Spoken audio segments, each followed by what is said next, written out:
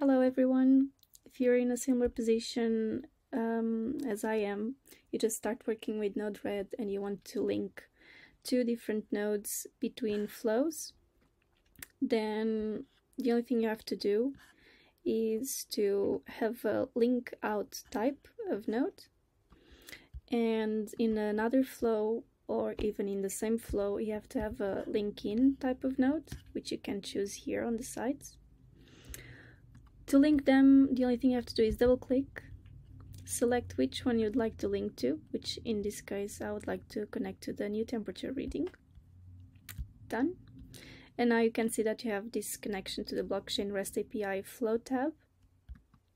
And if you click here you'll see that this link comes from the simulated uh, route flow tab.